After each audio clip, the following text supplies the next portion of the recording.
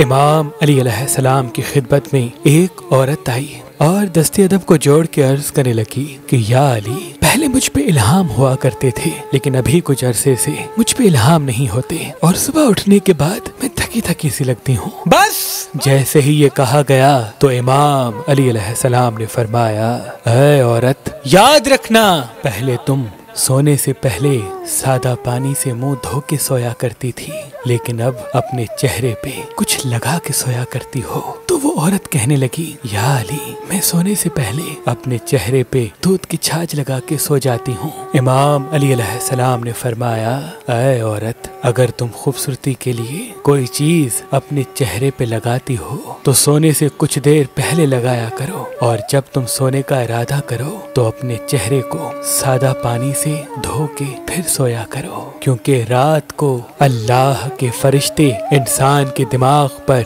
अल्लाह का पैगाम नाजिल करते हैं और नेक इंसानों के घरों में घूमते रहते हैं। लेकिन जो इंसान रात को चेहरा नहीं धोते या उनके चेहरे पे मैल या कोई चिपचिपी चीज़ लगी रहती है तो शैतानी जिन उस इंसान के चेहरे को चाटते रहते हैं। और अल्लाह के वो फरिश्ते जो अल्लाह की तरफ़ से इल्हाम लेके उस बंदे पर नाजिल होने होते हैं वो दूर दूर रहते हैं। याद रखना।